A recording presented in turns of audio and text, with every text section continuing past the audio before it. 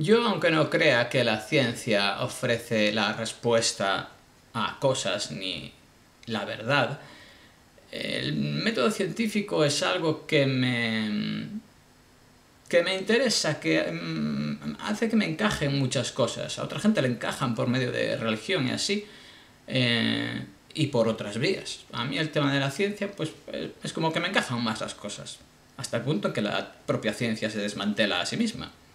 Em, pero hay gente que estudia con métodos científicos determinadas cosas y que llega a puntos en los que dices, pero esto realmente es científico. ¿En qué te basas para decir esto sin caer en una contradicción como una catedral?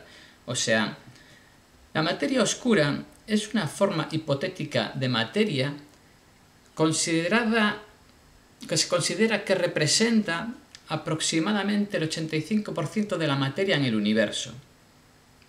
Me trabo un poco porque está en inglés. Y, y dices, vamos a ver, ¿quién, ¿quién cree que conocemos la mayor parte del universo? Yo no conozco a nadie.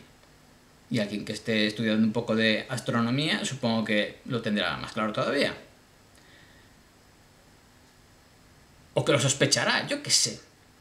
Pero no creemos que conocemos la mayor parte del universo, sino todo lo contrario, y sin embargo nos atrevemos a decir que suponemos que la mayor parte de él está compuesto, o sea, el 85% de él está compuesto por una materia que ni siquiera sabemos exactamente si existe, sino que es una forma hipotética de materia. Y basándote en una forma hipotética de materia, me hablas de que esa compone el 85% del universo. No me toques las narices. Eso y muchas otras cosas, pero a mí me dejan así un poco de... ¿Y tú, y tú, y tú, y tú me estás hablando de ciencia? Esto es una patochada, coño.